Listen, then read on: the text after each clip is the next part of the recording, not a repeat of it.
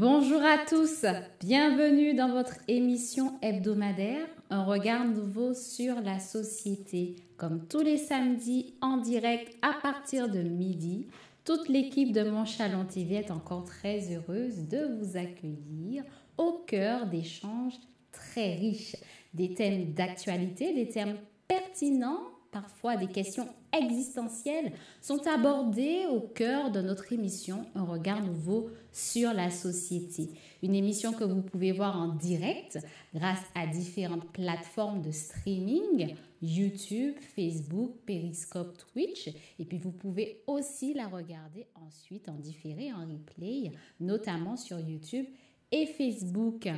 Les différentes plateformes de streaming vous donnent accès à un chat, à des chats, grâce auxquels vous pouvez à tout moment au cours de l'émission et même ensuite nous faire parvenir vos commentaires, vos questions, toutes vos réactions par rapport au thème abordé au cours de l'émission. Voilà donc un chat sur lequel j'ai déjà pu voir Olivier Carola, pour Maris, Virginie 41 nous saluer même avant le début de l'émission.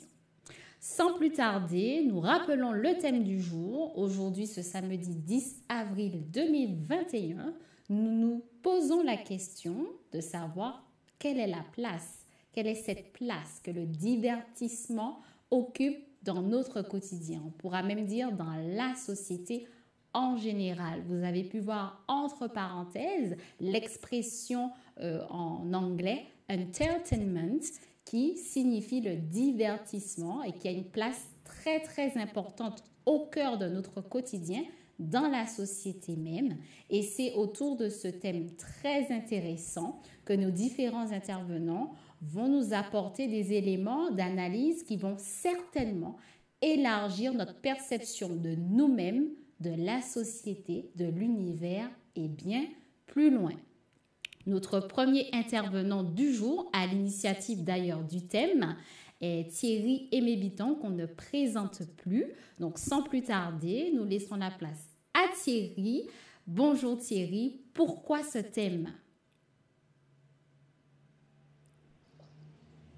Euh, bonjour euh, Angéline et bonjour à tous ceux qui nous écoutent dans toutes les plateformes. Oui, euh, pourquoi le thème du divertissement? Voilà. Notre, pour entrer au cœur du sujet, nous savons que euh, notre quotidien, notre quotidien, vous pouvez dire, notre quotidien est rythmé par euh, de nombreux événements, pas de nombreux événements. Et nous avons l'habitude de le dire, d'ailleurs même que c'est socialement reconnu. Tout le monde va dire, dire même dans notre environnement africain, tout le monde, tout le monde on, te dira, euh, tout ce que le Seigneur fait est bien. C'est qu'on dit souvent, tout ce que le Seigneur fait est bien.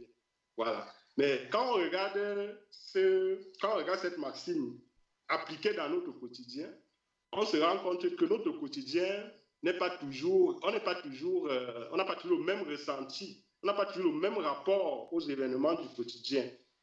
Parce que le rapport qu'on a aux événements, aux événements du quotidien on a une espèce d'hierarchisation des, événements, des activités que nous avons au quotidien. Et cela montre à suffisance l'idée que nous avons de nous, il veut dire euh, l'objectif que nous avons dans notre quotidien. Et lorsqu'on voit comment le quotidien est reparti, on se rend compte très vite que euh, les activités dites ludiques, les activités de divertissement occupent une place euh, très importante parce que parce que ce divertissement-là va rythmer, sera même notre objectif en fait. Sera l'objectif pour lequel nous sommes motivés, que nous sommes en mouvement.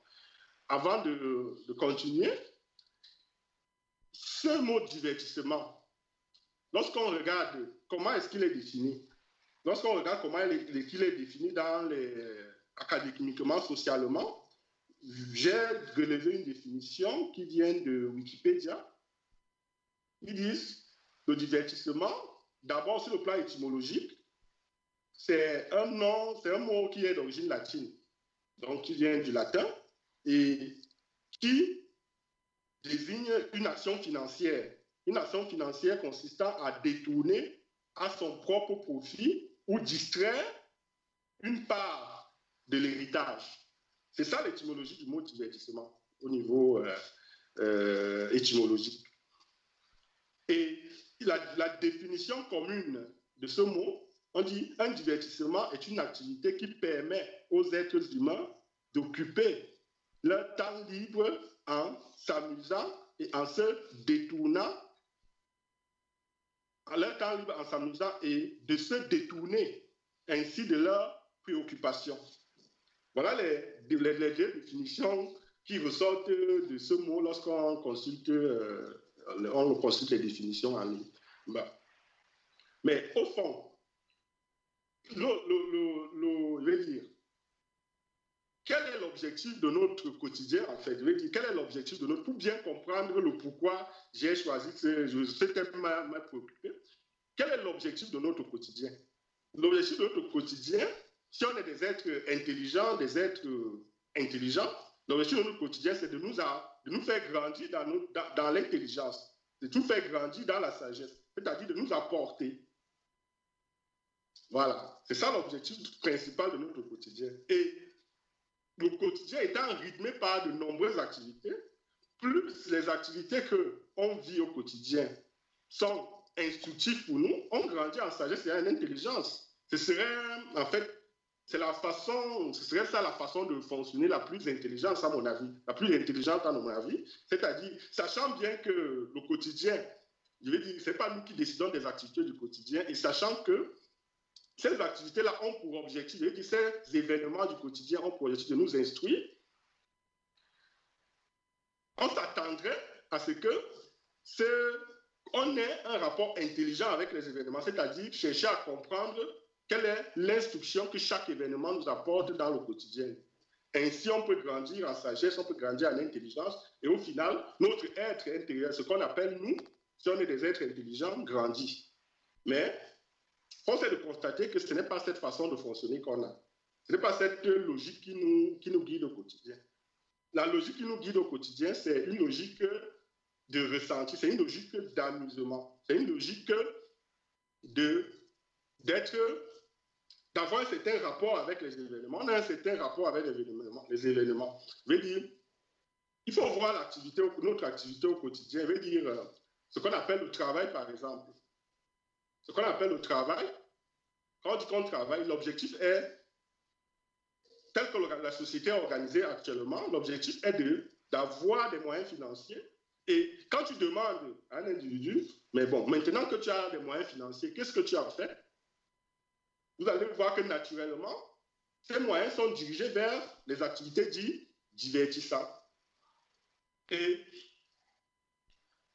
alors, cette, activité, et, derrière ce mot, vous allez voir que tout le divertissement est un mot, c'est un labyrinthe en fait, parce que derrière le mot divertissement, c'est comme moi je vais trouver divertissant, c'est pas ce que monsieur tout le monde va trouver divertissant, c'est pas ce que toi, tout le monde va trouver divertissant. Je veux dire, ce que je trouvais divertissant est en accord direct avec l'environnement que je représente, c'est-à-dire avec l'idée que j'ai de moi, avec ce que je considère comme moi, ce que je considère comme bien pour moi. Voilà. Donc, euh, c'est pour quand demande pour le divertissement. Pourquoi est-ce qu'il y a cette diversité de regards dans le divertissement? Le divertissement est un, un labyrinthe.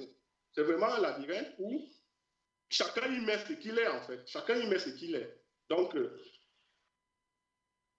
lorsqu'on entre dans le fond de ce que chacun met dans le divertissement, on va trouver que malgré cette diversité, il y a, un chemin qui, émerge, il y a un chemin qui émerge. Il y a un chemin qui émerge dans ce sens aussi que la société a organisé les choses de façon à ce que les individus aient une activité dite euh, professionnelle qui les rapporte de l'argent et il se dirige naturellement vers le divertissement. Mais est-ce que monsieur, il veut dire quoi? Ça, c'est les individus de la masse.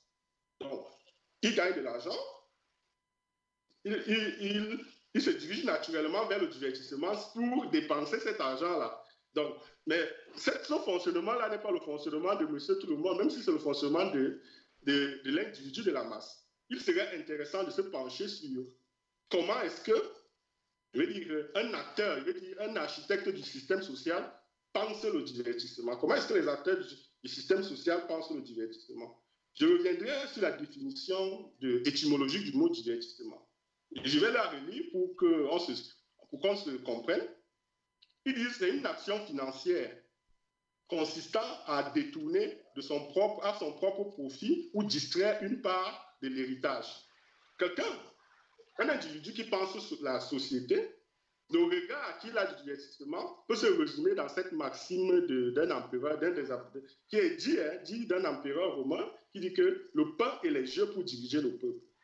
Donc, le, pour un, architecte de la société, le divertissement est un outil de gouvernance. Le divertissement, c'est un outil économique. Je vais prendre un seul exemple. Je vais prendre un ou deux exemples par rapport à ce que j'affirme. Prenons euh, l'industrie de la musique. C'est un, type de divertissement. La musique, la plupart d'entre nous, on écoute la musique, mais savons-nous vraiment le fond qu'il y a derrière la musique? Qu'est-ce que la musique, par exemple?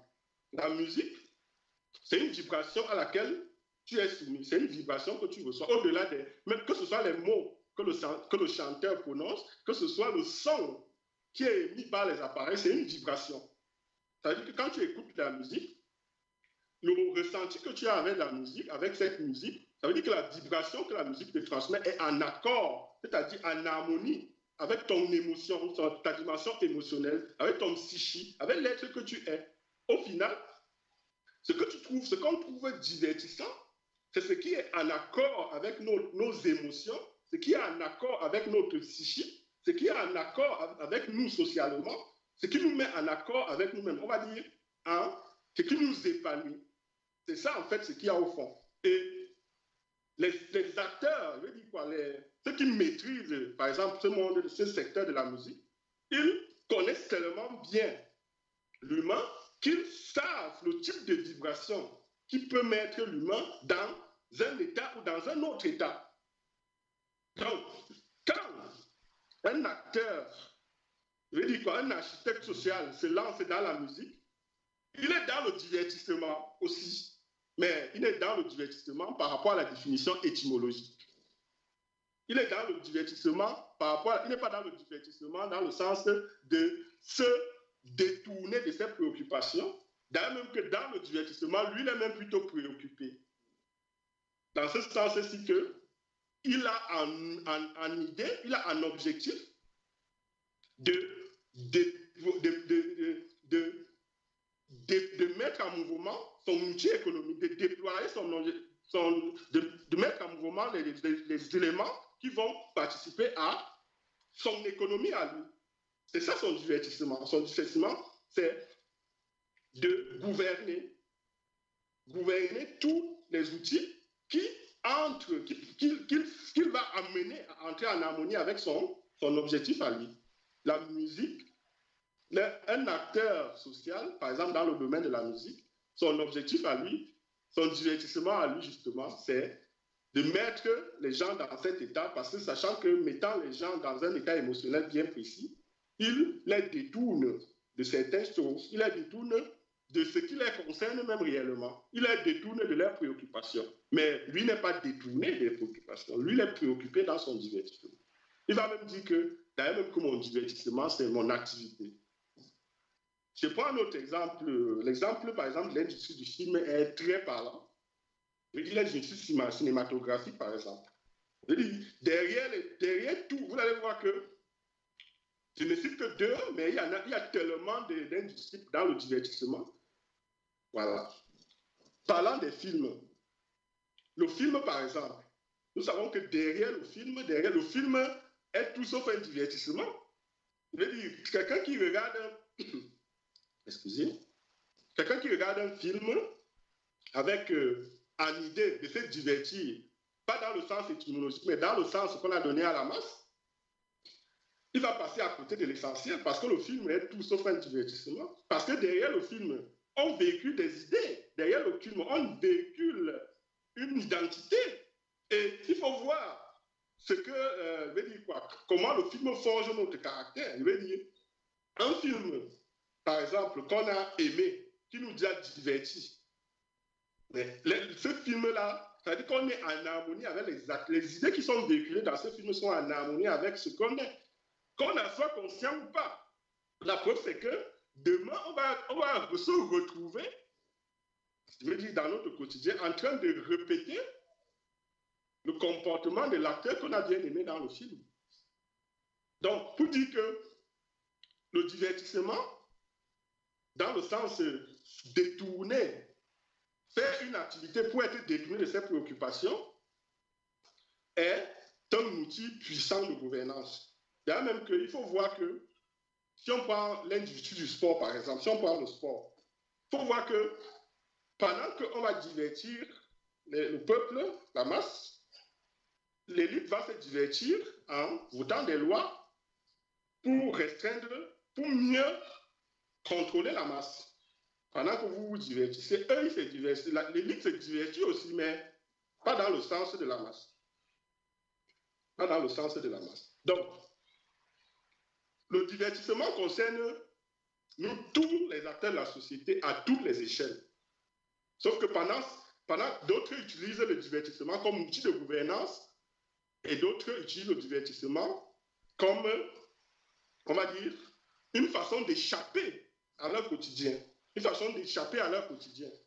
Mais a-t-on besoin, il veut dire quoi? Quand on voit comment le quotidien d'un individu, pensons-nous un peu sur le quotidien d'un individu lambda, d'un individu de la masse, pour bien comprendre pourquoi est-ce que le divertissement est très important pour lui. Le quotidien est essentiellement oppressant dans ce parce qu'on l'a conditionné à voir dans le quotidien, à, chercher, à rechercher dans le quotidien les éléments qui alimentent l'être qu'il est. Il croit que le quotidien est là pour répondre à son besoin, pour répondre à l'idée qu'il a de lui. Donc, toute son activité est de chercher dans le quotidien ce qui va alimenter ce qu'il est. Un peu comme quelqu'un qui est sélectif dans la façon de manger. veut dire, alors que euh, l'alimentation est une, est, est une harmonie entre les aliments, dire un équilibre entre les aliments, lui, il va dire, je mange ceci, je ne mange pas cela, je mange ceci, je ne mange pas cela. Donc, il est sélectif. Au final, il sera mal nutri. C'est la même chose avec quelqu'un, des individus de la masse, des individus, la plupart des individus, qui, conditionnés à voir à chercher, à alimenter leurs besoins, vont être gouvernés à tous les niveaux. comme on a mis, par exemple, la valeur financière comme valeur universelle pour acquérir d'autres, pour répondre aux besoins, l'individu va s'engager, exemple, dans une activité professionnelle, quelle que soit l'activité. Hein.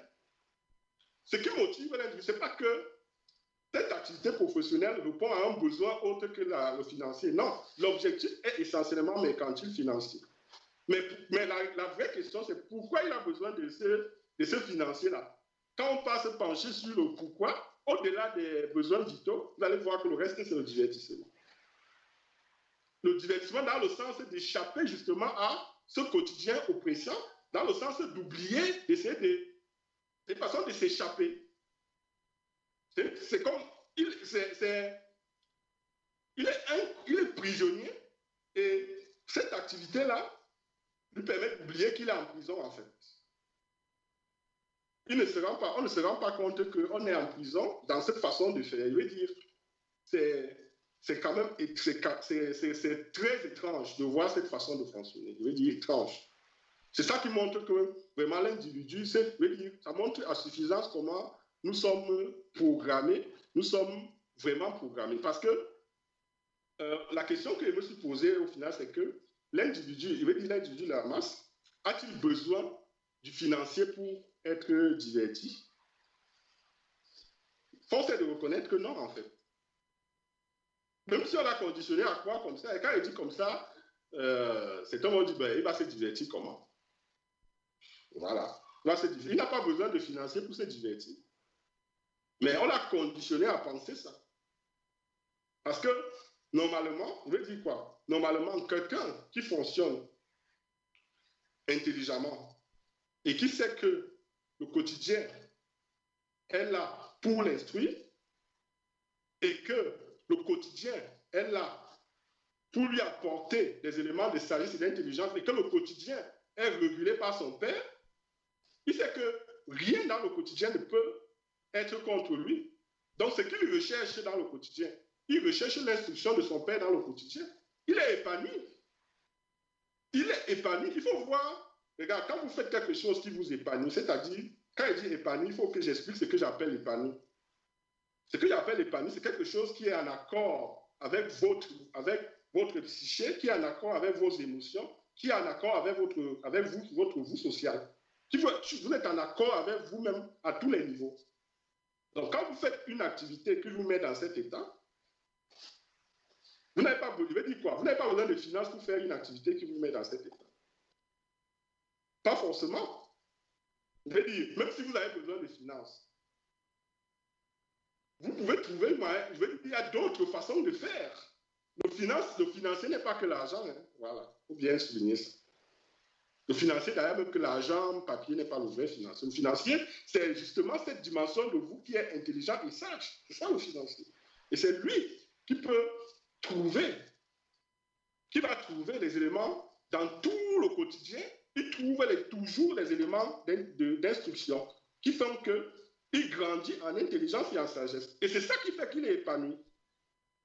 C'est-à-dire, il n'y a pas à rechercher des activités qui sont épanouissantes, mais qui sont divertissants, mais c'est à nous de nous divertir dans les activités qui nous sont proposées au quotidien. Dans ce sens que chaque événement du quotidien nous apporte quelque chose de plus, une intelligence de plus, quelque chose qu'on ne connaissait pas. Vous pouvez voir, moi, personnellement, hein, je me rappelle l'engouement que j'avais, que j'avais à l'école quand je faisais certains, certains, certains trucs comme les mathématiques, certains, certains exercices, certains, certains devoirs, ce qu'on considère comme devoirs. Pour moi, ce n'était pas des devoirs. J'étais content de découvrir des choses, j'étais content de comprendre les choses. J'étais épanoui. Pour moi, c'était divertissant.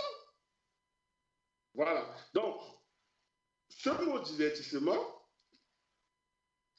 donc, euh, ce mot divertissement, vraiment, c'est comme tous les mots qu'on a, qu'on, a l'habitude d'aborder dans, dans, notre, dans nos partages, c'est un mot vraiment multidimensionnel.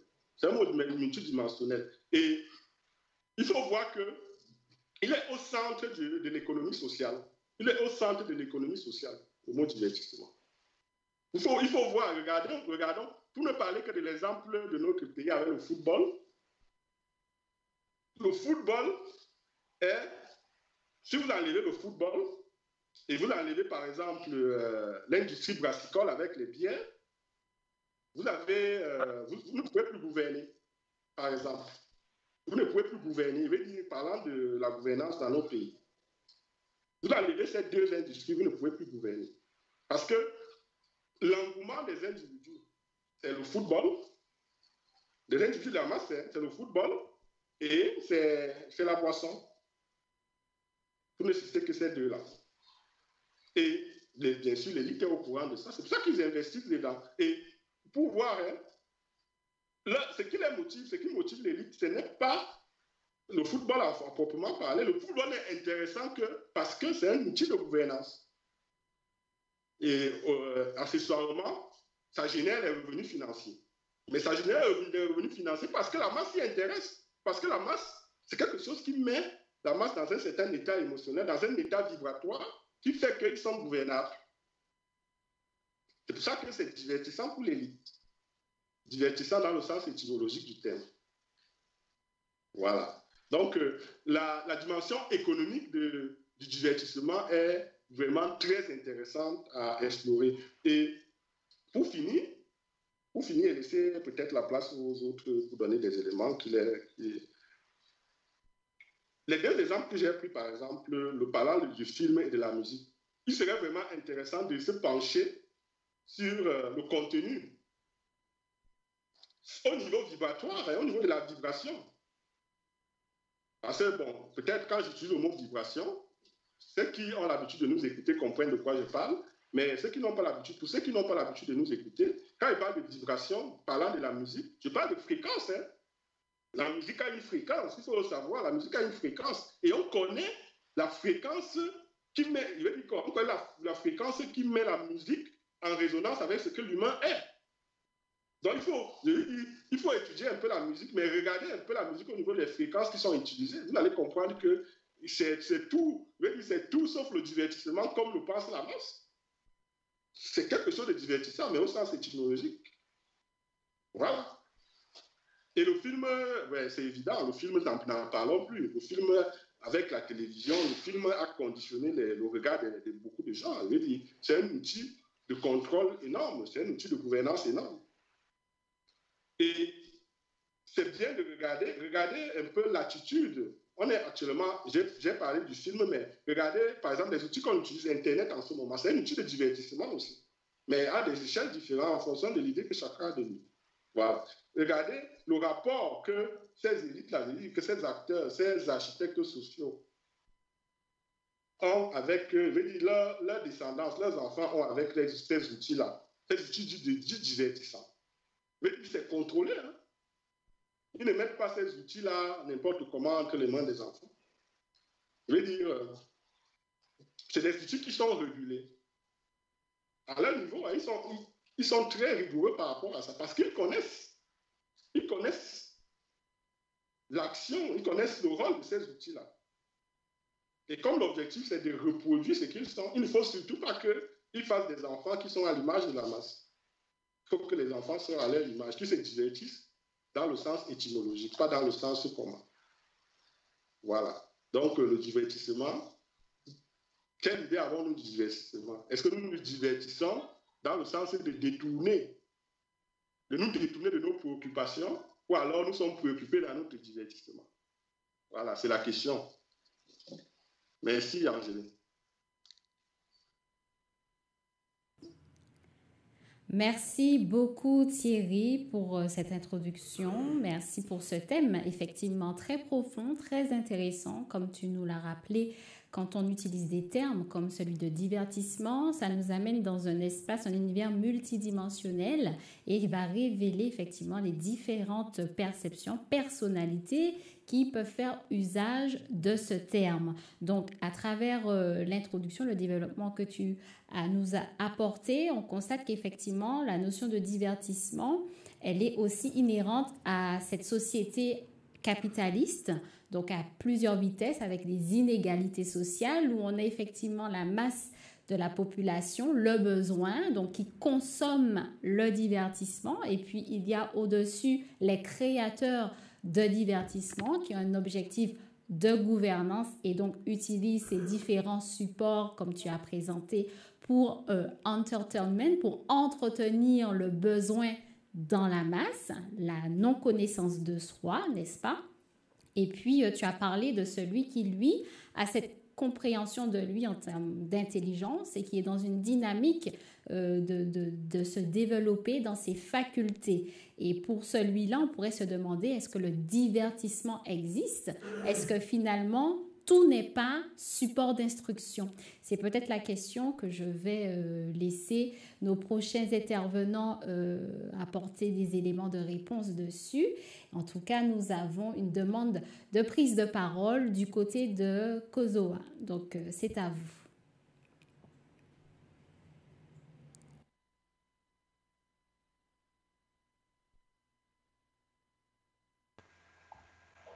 Merci beaucoup. Alors, on avait pensé qu'il y avait un intervenant avant, donc du côté de Armand. C'est pour ça que vous nous excusez de prendre un peu la parole avec quelques petites minutes de silence. Donc, très brièvement, sur ce thème très important, comme presque tout le thème que nous abordons, ce thème sur le divertissement comme euh, Thierry a commencé par poser les bases.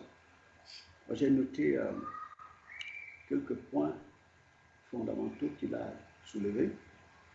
J'en prendrai par exemple deux, parce qu'il disait à, à l'entame de son propos que l'objectif de la vie, si on peut dire comme ça, de l'existence, idéalement, devrait consister pour chacun à grandir dans l'intelligence.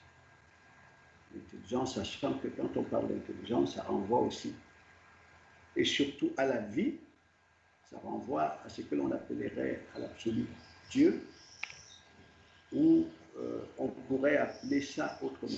le principe euh, sans lequel il n'y aurait aucun mouvement. Le principe sans lequel il n'y aurait aucune observation possible à faire, c'est-à-dire aucune forme que l'on observer et les mouvements que l'on peut voir derrière. Donc, je reviendrai euh, brièvement dessus. Donc, en fait, il a posé le décor en disant que l'objectif, c'est-à-dire pour comprendre qu'est-ce que, euh, quelle va être la place du divertissement dans la, société. Ou alors, euh, dans la sphère on pourrait dire terrestre, cette vaste sphère terrestre, qui est un, espace de mouvement, un espace agité, qui est un, champ magnétique très, très, très, très, très puissant, donc qui crée les préoccupations au quotidien, qui les détermine, qui crée les angoisses, qui crée les soucis. Euh, c'est évident que, même si tout le monde ne le sait pas, personne ne crée quotidiennement son état. C'est-à-dire que chacun, on peut dire, il reflète tout simplement un mécanisme qui est créé en amont, comme une sorte de vitrine. Et peut-être d'autres termes qu'on pourrait utiliser, c'est que chacun subit son quotidien. Chacun subit son quotidien. Donc son quotidien est créé de manière extrêmement subtile, de manière extrêmement silencieuse. Et puis, lui, il voit simplement cela se refléter. Lui, il n'en est que la caractéristique visible que l'on peut avoir observée. Ça veut dire, par exemple, que euh, lorsque euh, on est, angoissé, l'angoisse peut prendre toute une journée, lorsque l'on, est inquiet, euh, ça, veut, ça peut devenir l'objet d'une préoccupation profonde. C'est-à-dire ça te détourne de l'essentiel. Tu te préoccupes que de ton sujet d'angoisse. Euh, lorsque quelqu'un, il arrive que quelqu'un soit, ça peut être en conflit avec quelqu'un d'autre, ou alors quelqu'un, il émerge de quelqu'un euh, le projet je ne sais pas, de s'acheter une voiture, de se construire une maison. De fois, ce sont des projets qui peuvent préoccuper des gens pendant un mois, deux mois, trois mois, quatre mois, cinq mois, avant d'arriver à la réalité. Pendant ce temps, tu es détourné de la réalité. Donc, en d'autres termes, c'est-à-dire qu'en fait, ça va être exactement une force de diversissement, parce que comme il a souligné, divertir, c'est détourner ou alors distraire. C'est-à-dire que c'est isoler quelqu'un de ce qui pourrait être présenté comme un objectif fondamental. Donc, pendant ces temps qu'ils ne le savent pas. Je vais lire un peu quelque chose de euh, une. Euh, pendant qu'il parlait, donc, en fait, une euh, définition, toujours en rapport avec ces termes de divertissement, qui est d'une profondeur nuit, parce que d'ailleurs, ça touche le comportement, le fonctionnement quotidien, presque de toute la sphère sociale. Bon, sauf que chacun peut considérer comme objectif ses priorités, c'est-à-dire les priorités, comme je disais, qui sont créées par l'environnement social. Donc, de sorte que quand tu veux venir lui présenter une trajectoire, même si elle est réelle, même si la trajectoire que tu lui présentes, c'est ça même le vrai sentier de la vie, il va trouver que tu le distrais. C'est-à-dire que tu le distrais de sa préoccupation qu'il considère comme intelligente, qu'il considère comme sage, comme réelle. Donc lui aussi va parler du divertissement, mais à partir du divertissement. C'est-à-dire qu'il est détourné de l'objectif et il soutient ce détournement de l'objectif. Il va considérer que la tentative de le sortir du détournement, c'est un divertissement. C'est-à-dire que tu cherches à le distraire. Vous voyez, donc c'est comme ça, euh, dans la manière dont le quotidien euh, fonctionne. Et comme il disait, c'est une arme en fait, c'est une arme de guerre, une arme économique, une arme de gouvernance, parce que c'est vrai que sans le divertissement, vous ne pouvez pas arriver à maîtriser ces énergies immenses que les êtres humains représentent, sans pouvoir les divertir. Si vous n'arrivez pas à les divertir, non seulement vous, n'arriverez pas à les contrôler, vous n'arriverez pas à les guider comme vous voulez, parce qu'ils peuvent constituer une force terrible, de sorte que celui qui cherche à les contrôler finit lui-même par être contrôlé par les êtres humains. Donc l'arme secrète est effectivement c'est divertir, c'est-à-dire détourner de l'essentiel. Alors, euh, donc, ce que je voulais dire, et donc ceci, en fait, le divertissement, ça c'est une définition que j'ai trouvée assez intéressante dans le dictionnaire. Définition présentée comme philosophique. Le divertissement renvoie aux activités humaines futiles, entre parenthèses, recherche de la gloire ou des biens matériels, pour échapper à notre condition réelle. On dit le divertissement révèle le fait que l'homme éprouve des difficultés à vivre avec lui-même, à être en paix avec lui-même. Voilà. Vous voyez, donc c'est pour ça que c'est important quand on en revient euh, sur ce que Thierry a posé comme euh, départ. Alors, je pose la question, c'est pour ça que le divertissement, c'est une caractéristique sociale. Et elle est tellement subtile qu'on imagine. C'est-à-dire de sorte qu'on peut penser que les autres sont distraits et on n'est pas soi-même distrait, mais sans savoir qu'on est l'expression de la, distraction. On est l'expression, on n'est qu'en réalité notre mouvement, en réalité, n'est fondé que sur la puissance de la, distraction. Bon, parce que quelqu'un qui ne se distrait pas, comme il disait, qui n'est pas distrait, c'est-à-dire dont vous ne pouvez pas sortir de l'objectif. Or, cet objectif dont il est question ne se définira pas à l'extérieur, définira à partir des racines même de l'individu c'est-à-dire sa source de provenance. Parce qu'un arbre ne se développe qu'à partir de ses racines. Un arbre, le développement d'un arbre ne se fait jamais à partir des branches, mais à partir de ses racines. Donc plus un arbre pousse ses racines plus profondes, plus son développement est perçu à l'extérieur. Il est vu vraiment comme réel. Bon, alors imaginons que quelqu'un, donc la conscience de lui, sa conscience d'être, vient d'au-delà de l'environnement social. C'est-à-dire que qui lui, ce qui lui donne la conscience d'être, ce qui lui donne la conviction d'être, ne vient pas du regard d'autrui, le regard d'autrui, le regard de l'environnement à l'extérieur, ce qu'il va posséder de l'environnement, ainsi de suite. Mais ce qui lui donne la conscience d'être, c'est bien cette, euh, cette euh, comment c'est-à-dire cette substance profonde qui, qui remonte de lui, venant de Dieu le Créateur. Donc cet individu a pour seul objectif, objectif de pouvoir s'élever en intelligence, comme il disait. Quand on dit en intelligence, ça veut dire qu'il doit, apprenant de son père, acquérir davantage des éléments ou des facultés construisant sa personnalité. Vous voyez, donc cet individu-là est totalement à l'abri de à l'abri du divertissement. C'est-à-dire que les forces extérieures, les forces sociales, les puissances sociales et qui crée les désirs, qui crée les envies, qui crée toutes les conceptions que l'on peut avoir. Parce qu'on peut être, on peut euh, être euh, un peu se méfier du terme divertissement parce qu'on a par exemple une certaine conception de la famille qu'on veut construire, par exemple, une, certaine conception relationnelle, mais sauf que derrière tout ça, aussi longtemps que ce soit euh, la source d'inspiration de la conception de, la, conscience que nous avons et qui nous anime et qui établit nos projets, aussi longtemps qu'elle vient de la société, on est enfermé dans la force du divertissement, dans la puissance du divertissement. Bon. Et l'un des indicateurs qu'on est dans le divertissement, c'est que le temps qui passe nous laisse exactement au même niveau. C'est-à-dire que le changement qui s'opère, qui semble s'opérer, va plutôt être la conséquence du changement social en termes d'angoisse, en termes d'inquiétude, en termes de détérioration. Donc ça montre clairement qu'il y a un divertissement. Bon. Et quand il n'y a pas de divertissement, c'est-à-dire qu'il n'y a pas de détournement de l'objectif réel, l'on grandit en puissance, l'on grandit en intelligence, l'on grandit en discernement. Il se comprend mieux, il comprend mieux la société, il comprend mieux au-delà de la société, il comprend l'environnement. Vous voyez, c'est pour ça qu'il y a des exemples qui nous ont donné, sont donnés par exemple dans beaucoup de support, notamment dans la, Bible, quand on, présente un personnage euh, présenté comme le Christ, qui était vraiment, on, le présente comme un modèle de l'évolution de conscience, l'évolution dans l'intelligence, c'est-à-dire l'évolution dans le Créateur.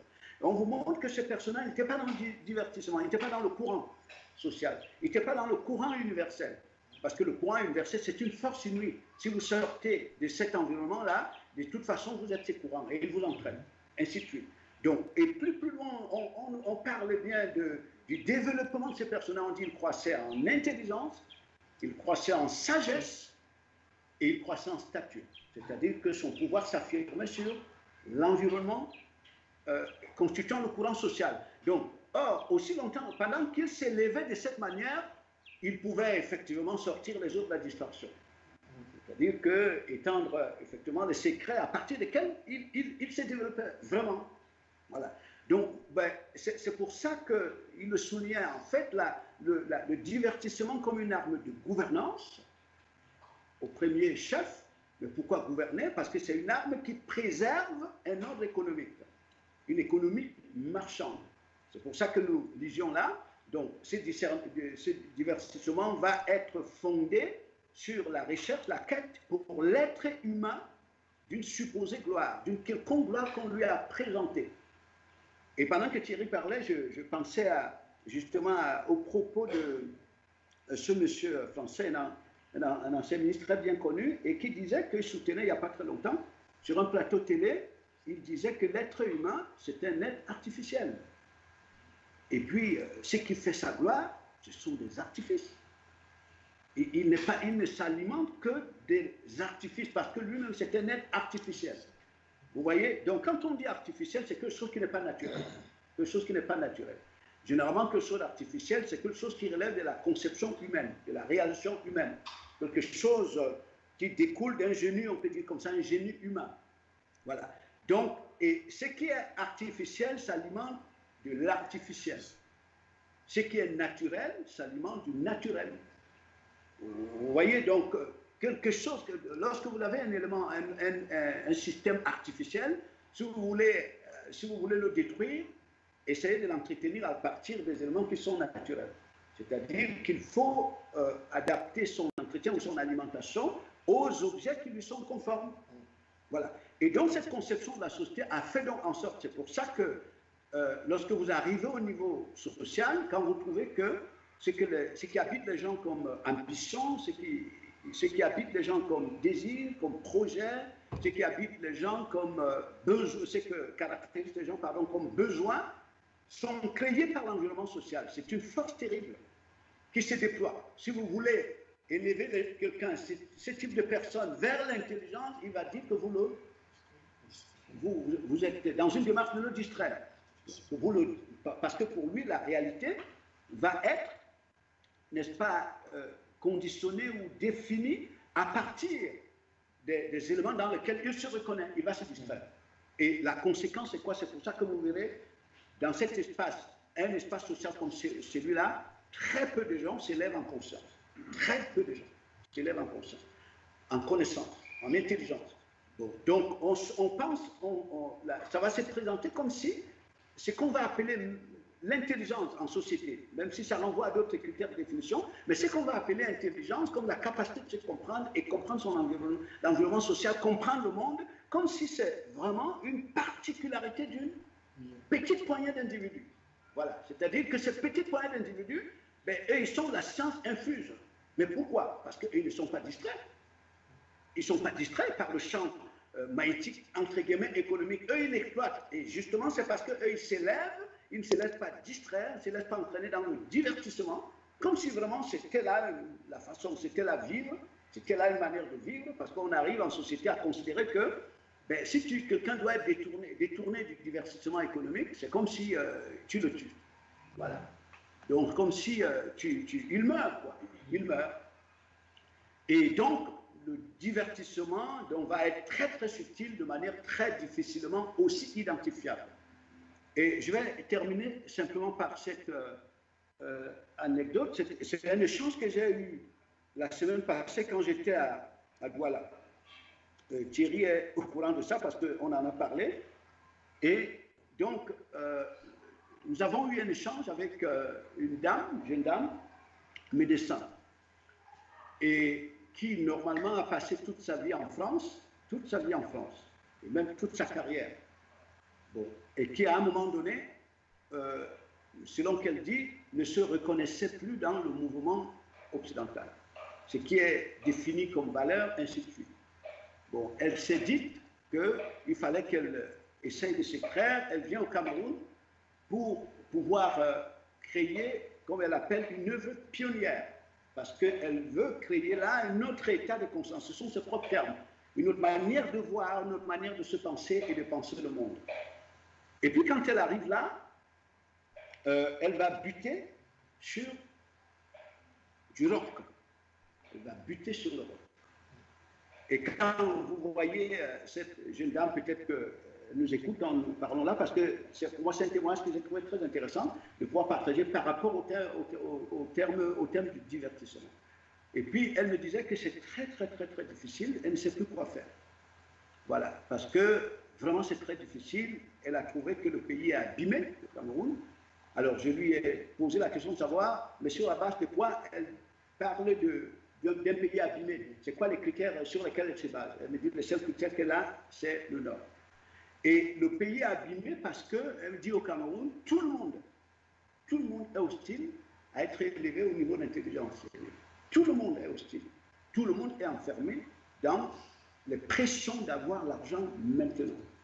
De telle sorte que si tu voudrais apporter aux gens une autre manière de voir, elle dit, euh, c'est une force de repoussoir inouïe. C'est de l'hostilité. Je pense que quand je parlais avec elle, qui n'était pas encore arrivée, les femmes étaient là. Voilà. Donc, pour comprendre, ça veut dire qu'une personne comme ça qui arrive, les gens considèrent qu'elle veut le distraire. Elle veut le distraire parce que leur préoccupation, c'est d'avoir l'argent. Voilà. Mais est-ce que ce sont ces gens-là qui sont eux-mêmes enfermés dans ces cercles vicieux? Non. C'est-à-dire que la société, c'est là que je lui disais, quand vous rentrez à la société, je lui disais qu'en fait, toute la, la complexité la situation, c'est que il faut cesser de, de, confondre les apparences avec la réalité. Parce que la société ou le Cameroun, la réalité du Cameroun, ce n'est pas les apparences que tu vois.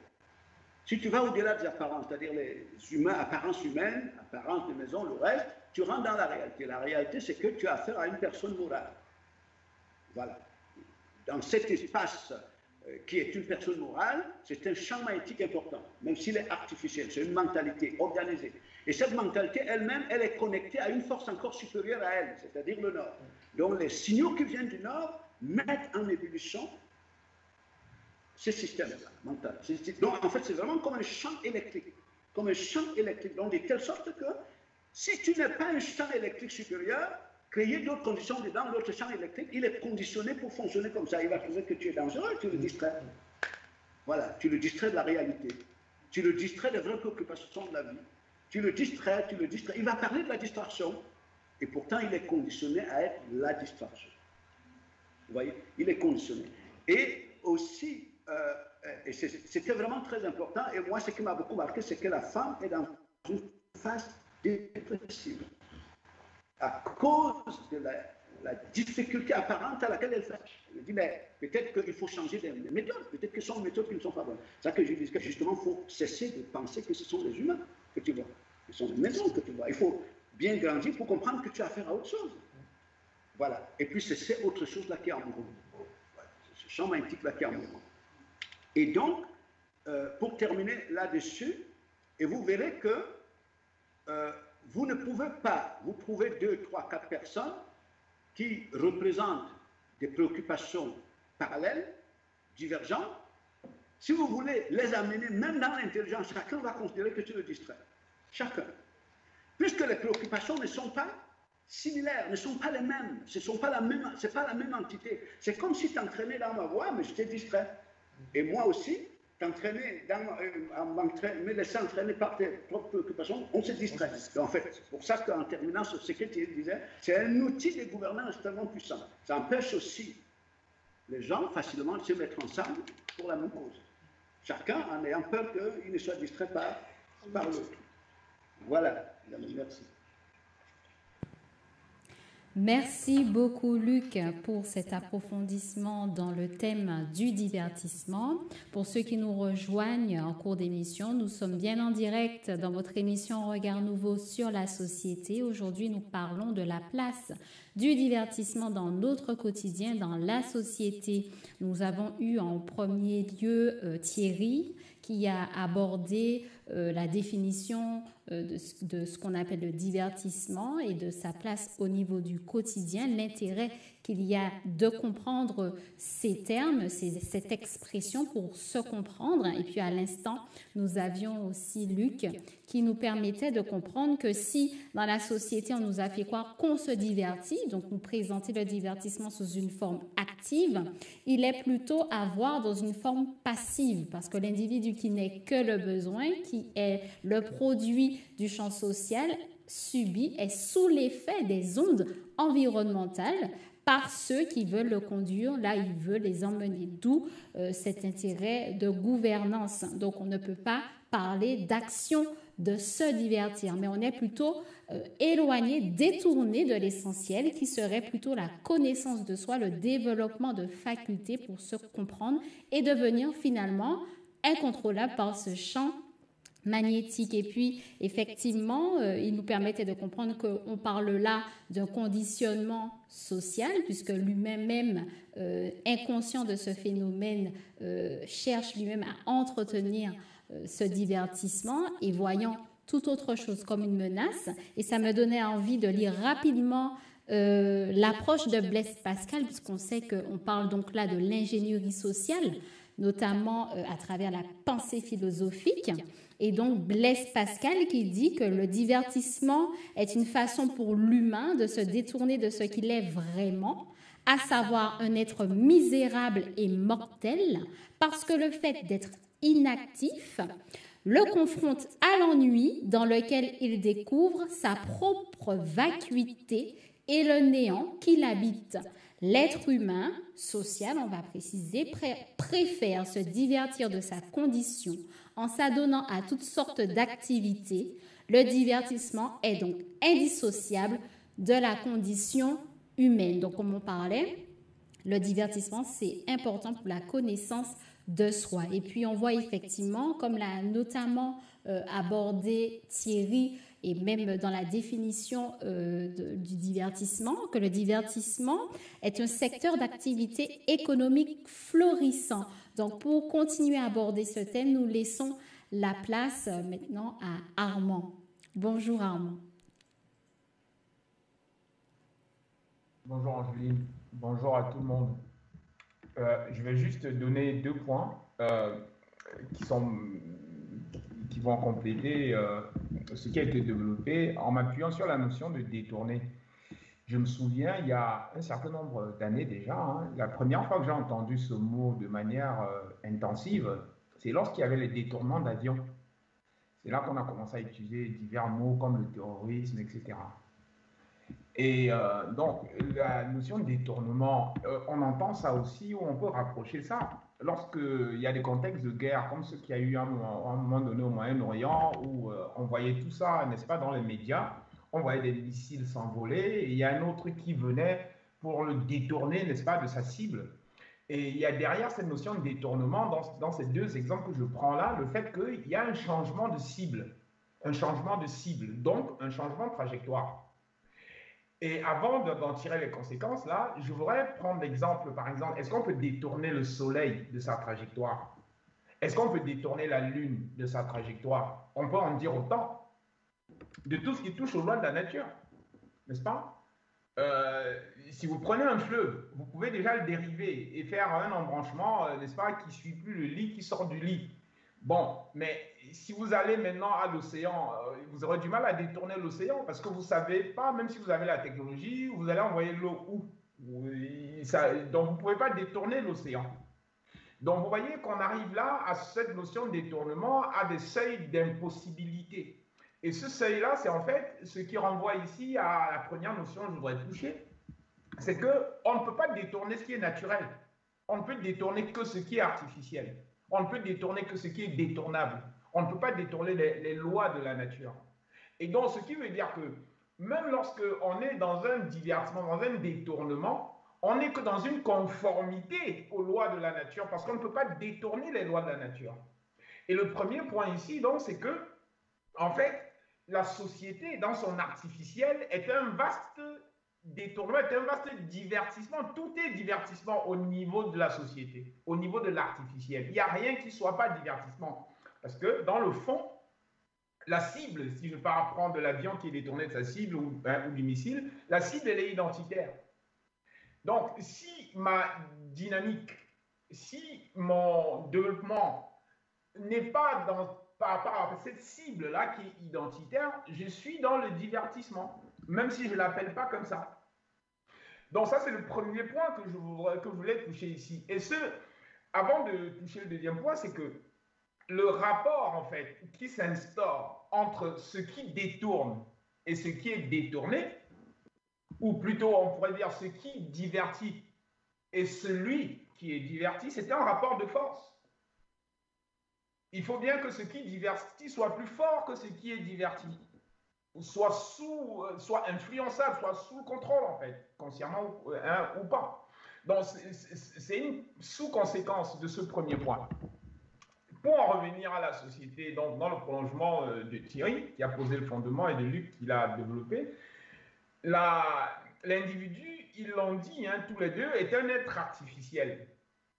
Et à ce titre, vu de la société, c'est une ressource. Mais cette ressource est particulière. C'est que si on la laisse, n'est-ce pas, se déployer sans la conditionner, sans l'influencer, la société court un risque de ne pas la contrôler. Donc il y a un danger à ne pas divertir l'individu. Un danger énorme qui est lourd de conséquences pour la société si l'individu n'est pas diverti. Parce qu'en tant que ressource, il est sous-exploité. Vous vous rendez compte? Si vous ne l'exploitez que de 8 h du matin à 17 h quand il travaille, ça veut dire que de 17 h du soir à 8 h du matin, le lendemain matin, vous ne l'exploitez pas.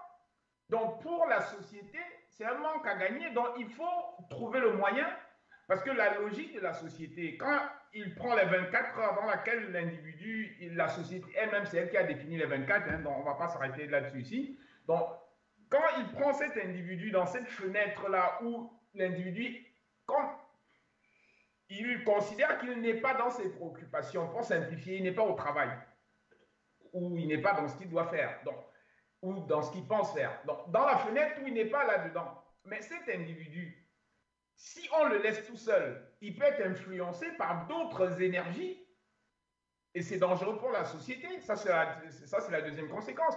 Il, il, court le risque pour la société de commencer à se laisser entraîner dans une pensée qui n'est pas celle de la société.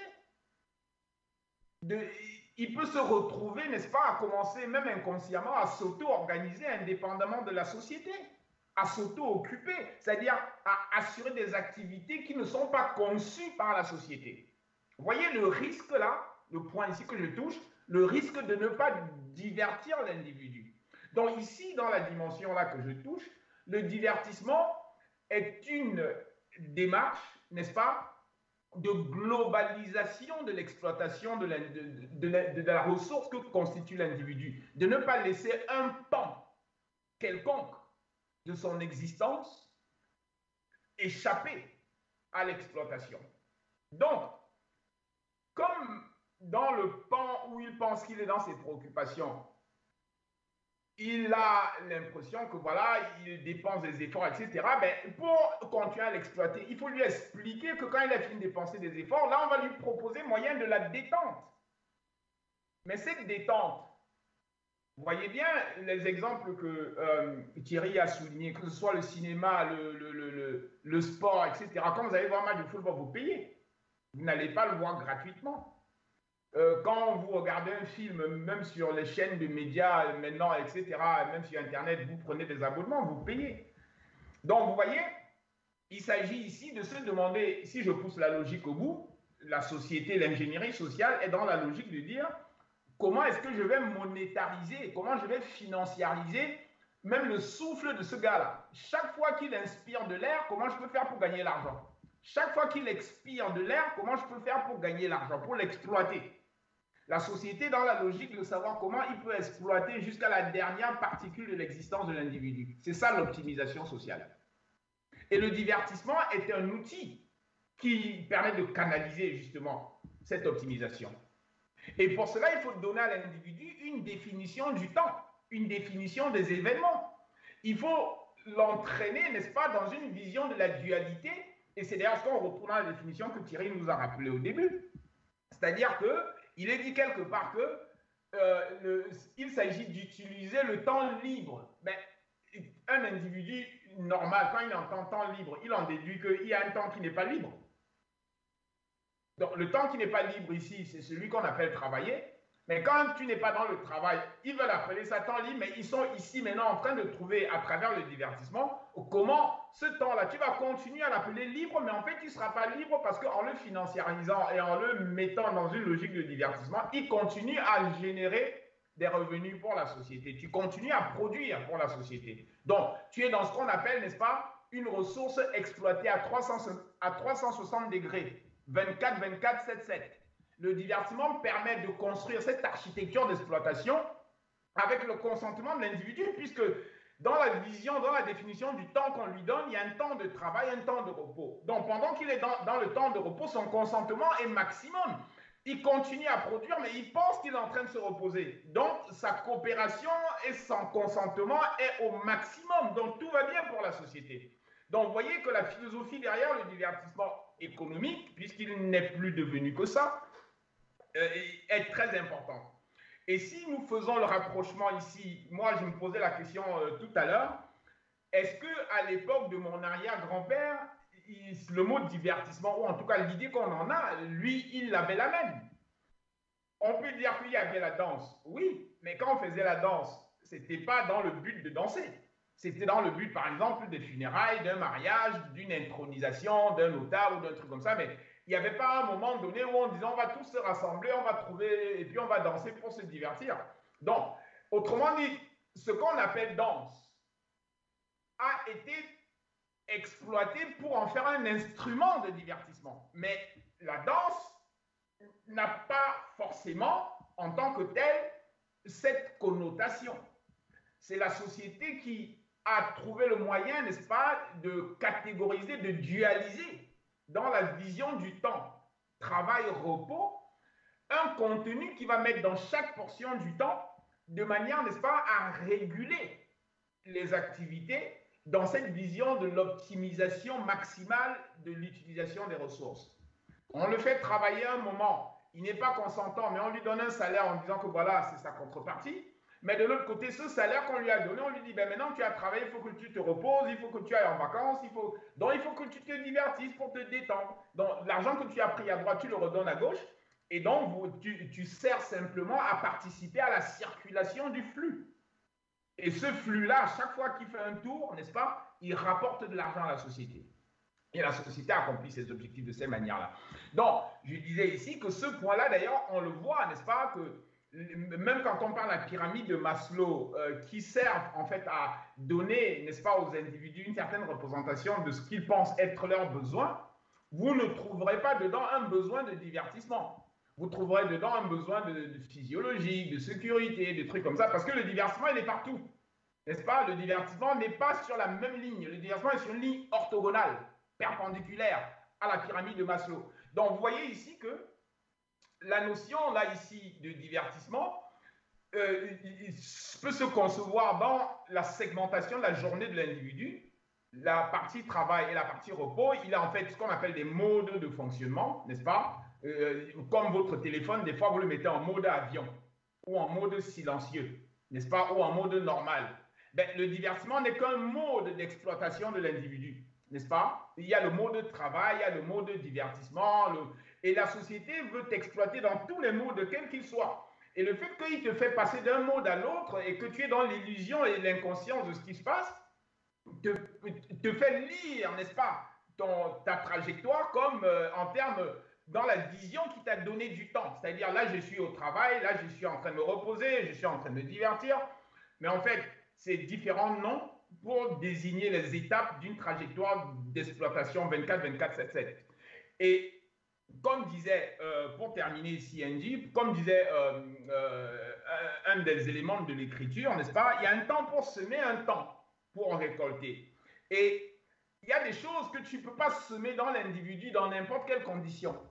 Si tu veux semer des pensées en lui, si tu veux semer des comportements, si tu veux semer des espérances, si tu veux semer des aspirations, le meilleur moment, c'est quoi?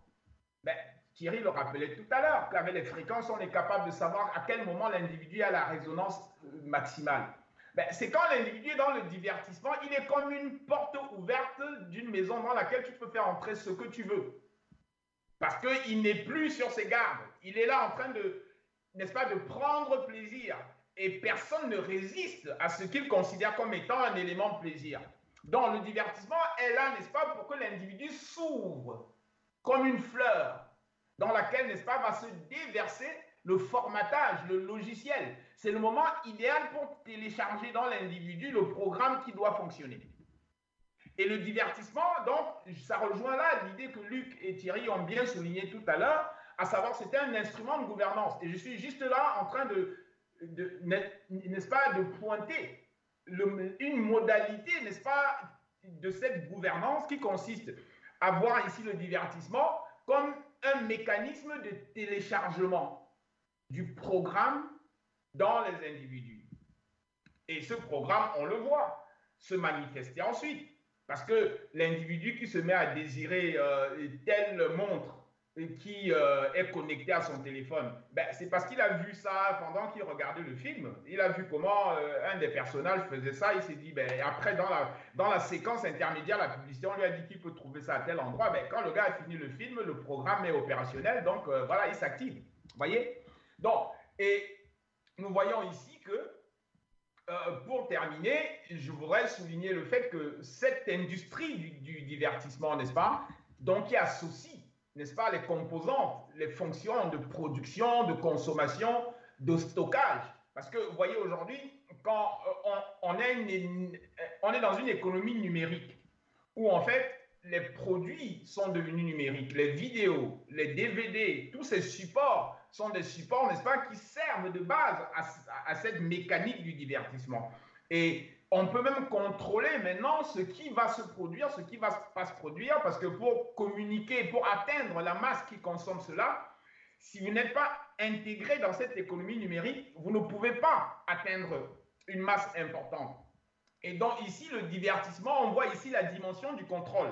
Celui qui contrôle l'économie numérique va contrôler le divertissement des gens et va donc participer à définir, n'est-ce pas, le profil de la ressource, de l'individu, n'est-ce pas, qui est nécessaire pour demain. Et donc, ça devient un outil de fabrication. Donc, quand on dit ici industrie de divertissement, on peut remplacer ça par industrie de fabrication de l'espèce humaine de demain.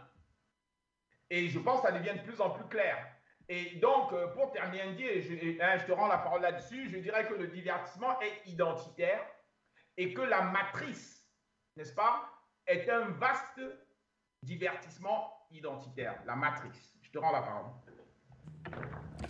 Merci beaucoup Armand pour ce point très intéressant. Comme toujours, au cœur de nos échanges se pose toujours la question qui suis-je? Et effectivement, quand on parle du divertissement, cela pousse à se poser cette question. Qui suis-je? Quel est mon essentiel? Est-ce que l'essentiel pour moi, c'est la satisfaction du besoin ou suis-je plutôt dans euh, le besoin, entre guillemets, de me comprendre, de me développer, de m'épanouir réellement? Et cela va nous permettre d'appréhender euh, cette conception du divertissement, puisque à ce moment-là, on va comprendre que pour la première la première, le premier cas, on va dire, il n'y a pas de moment dit sérieux et de moment de divertissement. On est tout le temps dans cette dynamique dite de divertissement, puisqu'on a un individu conditionné, programmé pour en fait euh, être en résonance avec les ondes euh, sous quelque forme qu'elles soient euh, de champ social qui conditionne, directionne son comportement, notamment dans la consommation. Tu employais effectivement ce terme d'enjeu de gouvernance, puisqu'on voit l'investissement colossal qui est notamment dans ce qu'on appelle les masses médias et puis aussi dans l'évolution technologique et scientifique pour effectivement augmenter de plus en plus les supports de divertissement, donc d'aboutissement, de détournement de l'essentiel réel des masses qui est donc la vraie connaissance de soi. Puis donc on a ce parallèle avec celui qui est donc dans la conception réelle de l'essentiel, l'intelligence, mais cet individu ne peut être détourné de cet essentiel. L'objectif qu'il est d'apprendre au quotidien à travers tous les supports, il ne peut être, ne peut y avoir d'interférence, on va dire. tous les supports auxquels il, est, il fait face, toutes les rencontres alimentent cet objectif. Et donc cela va se voir par cette, ce renforcement de conviction et cet élargissement de la perception de soi dans la compréhension euh, de, tous les outils d'expression. Donc voilà, c'est très très très intéressant. Donc euh, nous allons rapidement passer aux différents chats, donc la partie live chat où il y a une très très belle activité. À tout de suite.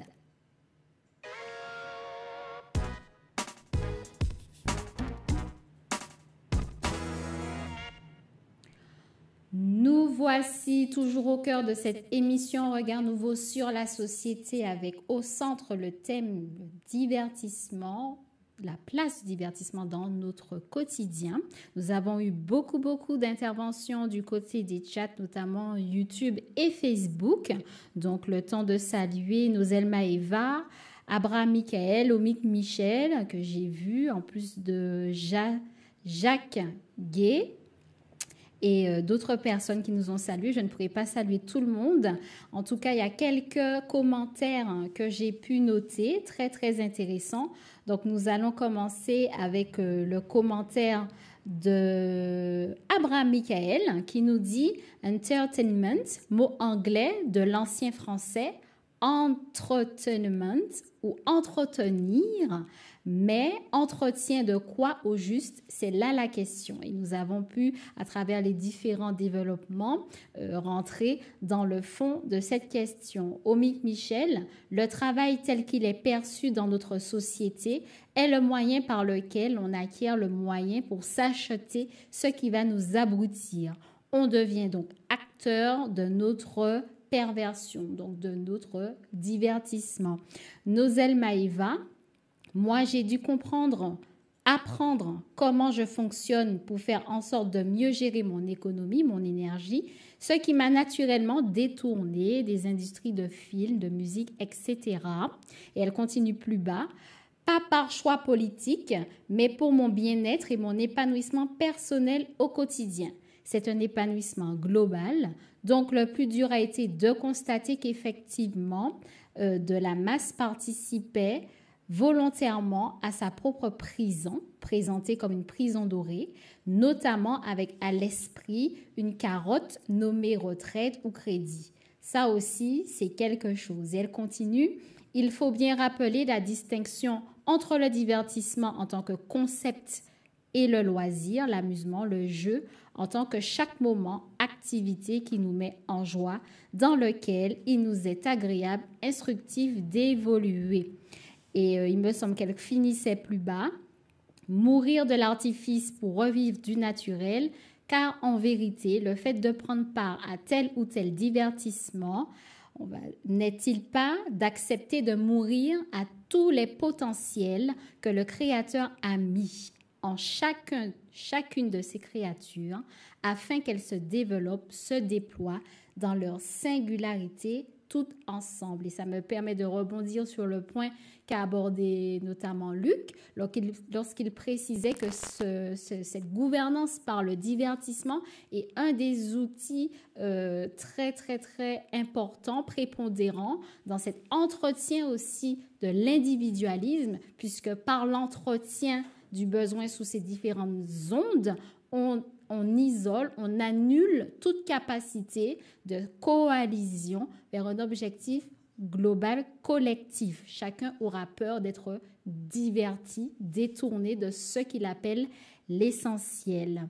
Jacques Gay qui dit le divertissement est aussi un moyen, une tactique de diversion pour empêcher l'individu de recevoir la vérité, de se poser les questions importantes de la vie. Et puis j'avais vu une image que Virginie 41 nous partageait, une image très instructive de la phase de jeu de rugby qu'on appelle la mêlée, où plusieurs membres de chaque équipe sont regroupés autour du ballon, se font face arc-bouté pour récupérer le ballon. Donc, on amène tous vers un objectif commun. Donc, on voit effectivement cette dimension de passivité hein, dans les populations qui sont non pas ne se divertissent pas, mais sont entraînées, malgré elles, euh, dans, dans l'inconscience de ce qu'elles sont, à atteindre l'objectif d'autrui. Voilà, donc euh, il me semble qu'il y a aussi encore un commentaire d'Olivier, Olivier Carola, pour le sujet social. La vie, c'est le divertissement. On n'a qu'une seule vie, donc il faut en profiter, ne sachant pas qui profite réellement. Voilà, donc euh, je crois que nous avons, donc Jacques Gay qui continuait, le divertissement est aussi un moyen de formater l'homme au profit des banksters. Magellan Tamko qui nous disait merci beaucoup, notamment à Armand, pour le développement. Donc, euh, je pense que nous allons arrêter là au niveau du relais des différents commentaires et questions au niveau du chat, des questions très intéressantes, puisqu'il y avait une question que hum, je crois euh, Annick avait posée par rapport notamment aux animaux domestiques. Maëva avait notamment apporté un élément en termes de, différents outils, différents supports hein, que, euh, qui peuvent être utilisés, non pas pour nous divertir, mais pour révéler finalement ce que l'on est. Donc, si on s'élève en compréhension de soi, on va mieux comprendre le rapport que nous avons aux éléments, aux rencontres, aux différentes activités. Et cela nous permettra de savoir si on est orienté vers un objectif non perçu d'autrui, donc dans le divertissement, ou si tout ce avec quoi on est en rapport vise l'essentiel, un objectif clair, l'intelligence, la connaissance de soi et le vrai développement.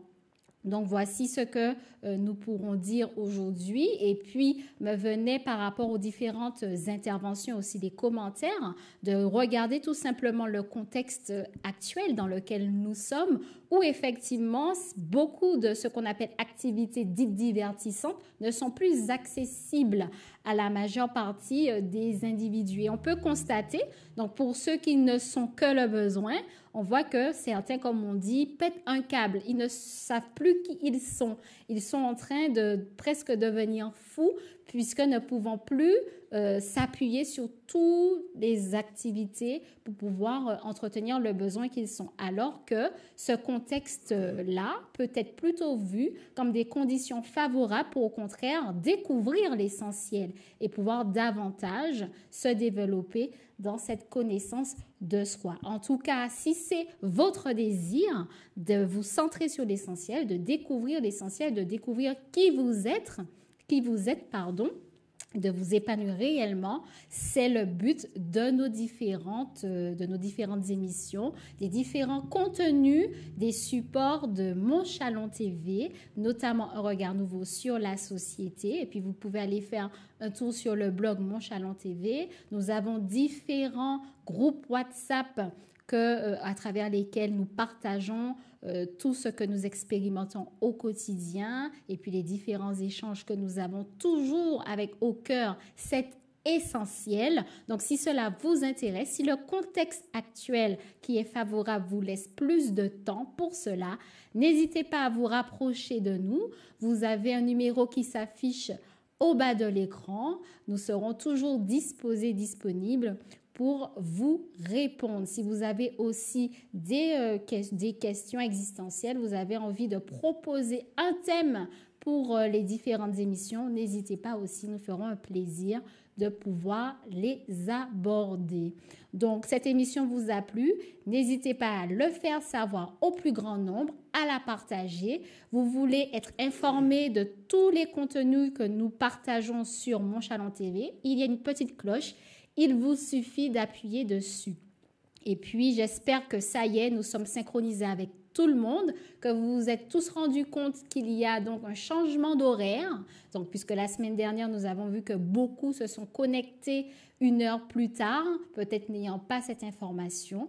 Donc, il y a le décalage horaire. Je sais par exemple que pour euh, le Cameroun, l'émission, euh, elle est pour eux à partir de 11h et non plus à midi. Donc les uns et les autres sauront en fonction de leur fuseau horaire comment être ensemble en direct. Et puis comme on le dit tous, toujours, les émissions sont aussi rediffusées et visionnables après. Voilà, donc tout est dit. Le temps pour nous de vous saluer, de remercier tous nos intervenants pour leur compréhension et cette disposition à nous la partager. Merci à la technique pour euh, nous assurer toujours de façon optimale, euh, selon les appareils que nous avons euh, directs, de qualité. Merci à vous tous, tous ceux qui nous regardent fidèlement. Bienvenue à ceux qui nous regardent pour la première fois. Et nous allons vous dire à très bientôt pour de nouvelles émissions. Au revoir.